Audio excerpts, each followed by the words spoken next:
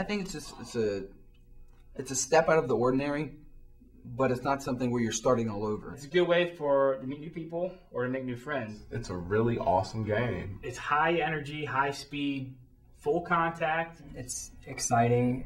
It's fun. It's a whole lot of fun. It's a great way to get in shape. It's a very good physical workout.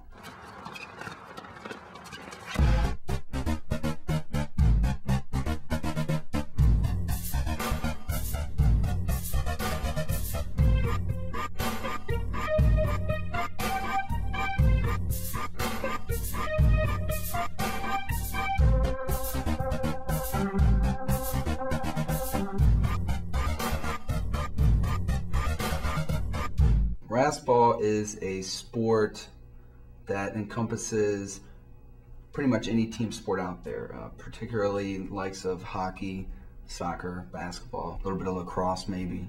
RASCball was created um, about uh, eight years ago at Westgate Park across the street from where I lived, and Mike lived right just behind me. Uh, myself and Rich Gooch and his brother were playing some hockey uh, on a street and we were playing with a tennis ball because we're poor and couldn't have real equipment. We decided to drop the sticks, pick up the tennis ball we were playing with, and started throwing the tennis ball to each other, and then eventually at the goal, and it just kind of grew from there. And that's kind of the the birth of it. I, I think we just kind of realized that we had something that was unique and different. Uh, it was a lot of fun still. We didn't really think to do anything of it the first probably five years. We were just, you know, whatever, we'll play it. Uh, within the last maybe four years, probably three or four years, is when we really said, let's do something with this. We just thought, hey, we got something that's interesting here. If people can hear about it, if people know what it is, we know people would like it. It, it took me a long time to even get my core guys to see what it could be. And once I kind of got that through, guy, uh, you know, a certain segment of guys really started taking it seriously.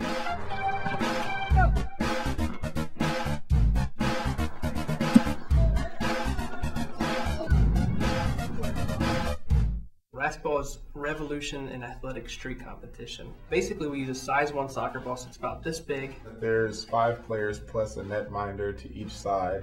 You start off with a jump off in the middle. You can throw it in, head the ball in, kick the ball in. Uh, throwing a goal is one point. A kick is worth two points, and a header is worth three points. And if you throw or kick a ball behind the bonus line, that's an additional point. And also, there's a crease that surrounds the goalie in front of the goal where you cannot shoot the ball with your hands. Like you can't kick the ball unless you're shooting at the goal. And there's holding calls, offsides. There's free run with the ball. You don't have to dribble. It's full contact. It's physical, but it's not violent. You know, you can't trip, you can't tackle, you can't elbow or clothesline or anything like that. But there still is that element of finesse.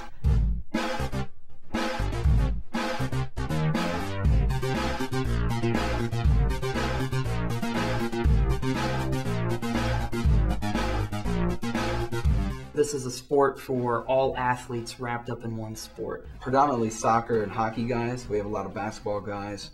Um, we have uh, guys who played football. We have tennis, volleyball, wrestlers, uh, track and field guys. Anybody can play RASCball. Anybody that has any kind of interest in sports. Um, you don't have to be a professional athlete. You don't have to be a college athlete. You can just be some guy walking on on the street and say, "Hey, can I play?" Even guys who think they might be out of shape or anything, like there's a position for everyone. And to top it off, basketball is one of the best sports, in my opinion, to get in shape. So if someone's worried about that, I know we have guys that are like, "Whoa, I can't really run that much." It's like you'll get used to it, you'll love it. Anybody that definitely still has a very competitive edge. I mean, the older we get, yeah, it's still there though. Uh, the netminders just have to be kind of quick, but they don't have to have a lot of endurance. Defensive minded players have to be stronger um, and uh, you know able to block shots. Offensive minded players have to have a lot of endurance. So it's really meant for a lot of different types of athletes. The biggest thing is change of direction.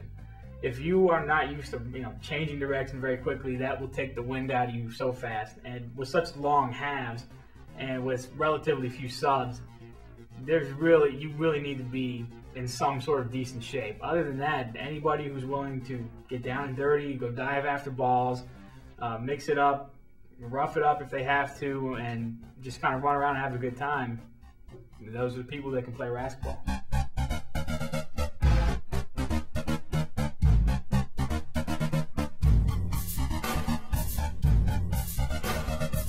Personally, I'd feel kind of weird playing with a girl, like with the rules drawn up the way that they are, just because I feel kind of weird about hitting a girl. My mom always told me not to, so I think I should uh, avoid that. Even though I think it, it's a great sport for girls. If there was a co-ed league or something like that, I think it would actually be a lot of fun. You know, you have to scale back on some of the physical nature of it, but I think a lot of that would be taken care of with the people themselves as opposed to an actual formal rule change, just because most guys aren't going to just go like full bore with their shoulder into a girl or something like that.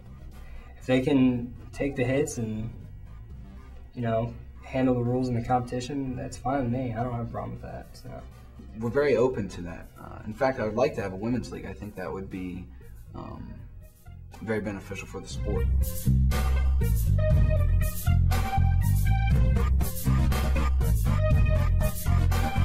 It costs seven dollars uh, each game that we have at the indoor court, just because we have to rent the court. The first time you play, it's completely free. Uh, At the outdoor court, uh, it's free, but we're trying to raise funds and so we can uh, get into more events uh, and try to market the sport a little bit, and that's two dollars.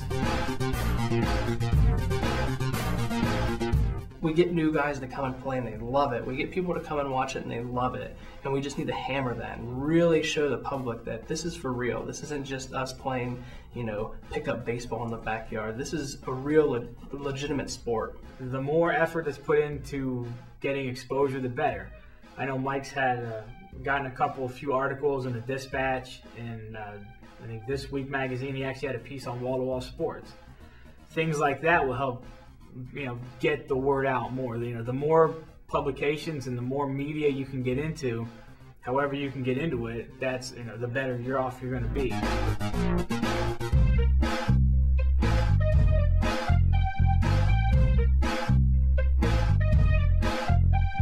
Mike has done an exceptional job in beginning to kind of position the sport in the minds of health and physical educators in the state of Ohio. In- In our particular case, it would be something that we would want to put into curriculum in terms of phys ed uh, before we tried to go the school sponsored sport route. Sports would have to probably disappear or go by the by in order for another sport to be added. It's something you could do as a lifetime commitment. It's not something that's just, you know, for those years that you're in high school. Health and PE instructors throughout the state can teach younger younger children about the sport, what the sport is, and you can get buy-in at that point from from professionals in the sport industry, and then it can begin to expand into parks and recreation, YMCA's, and once it it's integrated and success shows and kids start playing it by themselves then selling the sport and selling how easy it is and how much fun the kids have is not a, is not a hard pick for a physical educator. It's going to probably in the next 10 years be more of a regional sport but i think that you know he's taken it from a just a very local small uh, entity into a statewide initiative right now and i think within just a few years it can be more of a regional sport I certainly could see it uh, involving play, you know, in summer leagues, uh, maybe even the college ranks. It might be a little easier to do stuff like that uh, at college and, and possibly in some sort of curriculum for physical education. I- I, don't think it's unrealistic to see it um, in, in colleges as an intramural sport. I don't think it's unrealistic to see it at rec centers or sports facilities as a competitive sport or recreational sport. Um, and even, at, I'll be honest with you, I don't see any reason why it couldn't be on some sort of TV. I definitely could see um, some sort of legitimate league nationally.